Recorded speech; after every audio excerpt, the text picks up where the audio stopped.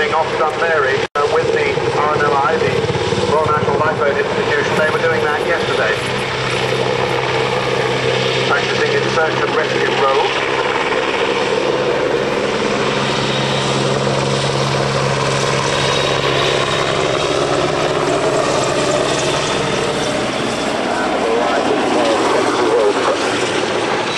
You'll see a little sort of spike dangling there. That's the thing that locks it. It's sort of a harpoon thing, deck lock it's called, um, in between the main wheels there, and that spears down into a grating in the deck and immediately locks the helicopter onto the deck. And there's the winch person coming down uh, on the, the top, getting down onto the ground, and this will be, they'll be picking up in a, a double lift.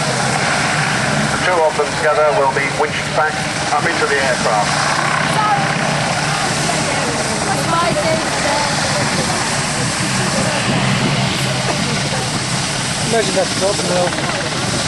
they are, lifted off the ground and travelling slowly up underneath the helicopter as they get up level with the sill of the door. Two basic airframe types on offer with this particular aircraft.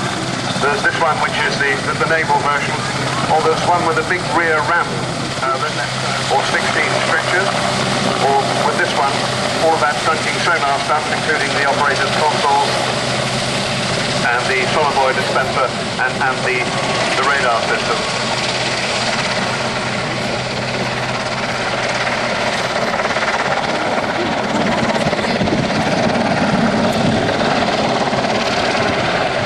In this naval version, and the need to operate day and night in all weather.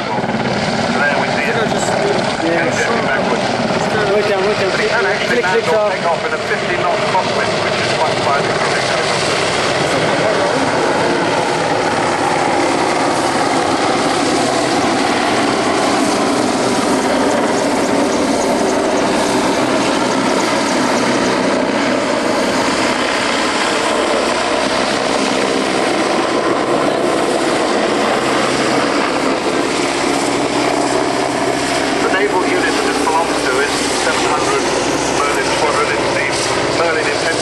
files unit. Manage